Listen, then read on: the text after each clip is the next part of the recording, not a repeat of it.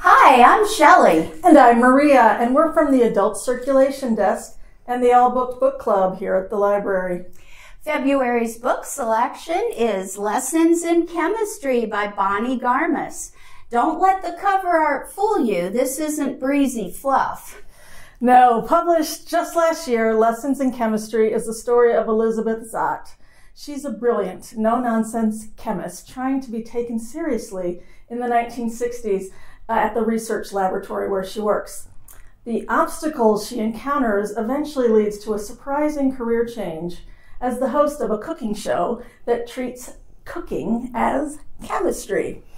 Interesting. The book also highlights some old thorny issues from 50 years ago that we are still dealing with today, such as the difficulty of succeeding as a woman in a male dominated field, the challenges of being a single, single working parent, and the misogyny of powerful men in show business and academia.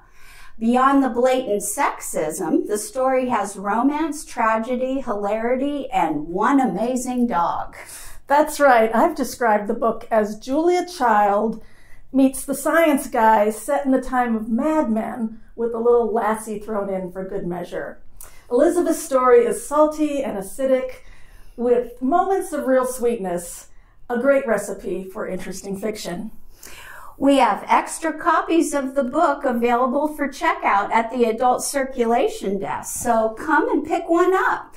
Then register to join us on Tuesday, February 28th from 5:30 to 6:30 in the Red Room here at the library or remotely to discuss Lessons in Chemistry by Bonnie Garmus.